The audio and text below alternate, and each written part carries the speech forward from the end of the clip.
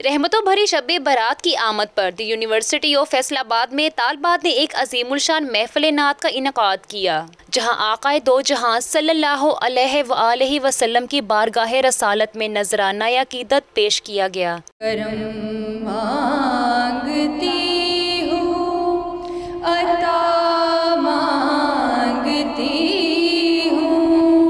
महफिल पाक में पुरकैफ और रूह परवर मनाजर ने हाजरीन के लहू को ऐसा गरमाया कि इश्क रसूल में आँखें पुरनम हो गईं। मंझधार में हूँ बिगड़ी है हवा मोरी नैया पार लगा जाना।